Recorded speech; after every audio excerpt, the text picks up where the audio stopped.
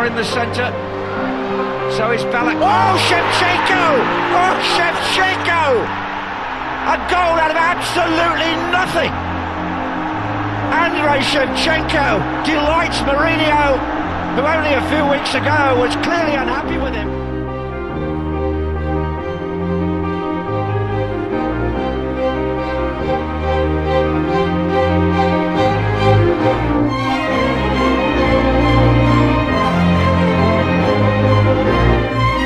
Stop.